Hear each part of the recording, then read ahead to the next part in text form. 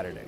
Well, we all know losing stinks. You heard CJ Anderson say it last night. No athlete at any level wants to lose or continue to lose over and over again. And when you have consecutive losses in a row to your big rival, well, it just gets even worse. Such is life for the CC Tigers when it comes to the Gold Pan Trophy.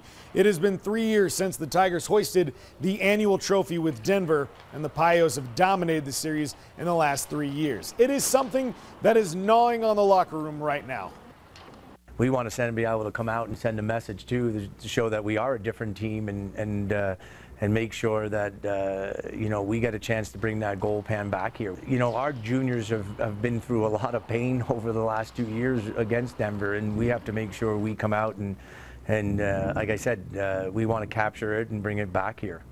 Yes, sir. Friday night in Denver, Saturday in the Springs at World Arena. Tigers last won the gold pan in the 2013 14 season. Hang tight.